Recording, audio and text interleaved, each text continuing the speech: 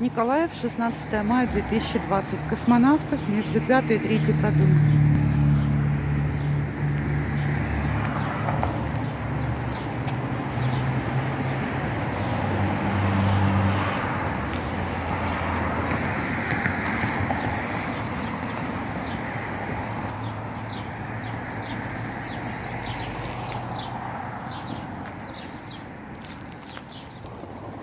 Если не хочешь, то не надо.